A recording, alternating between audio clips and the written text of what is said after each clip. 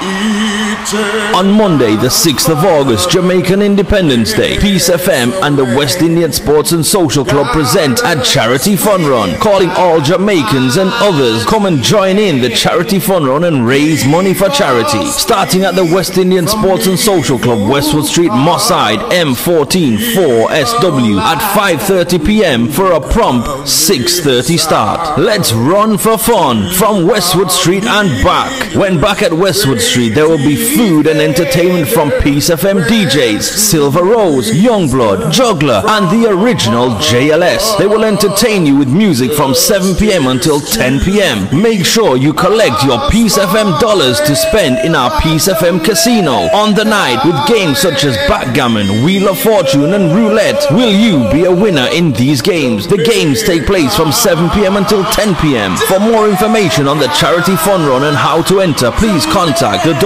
WISSC on 0161 226 3904 or 0161 226 7236 and ask for Basil. This event is sponsored by Peace FM, WISSC, Manchester City Council, and the Community Development Fund.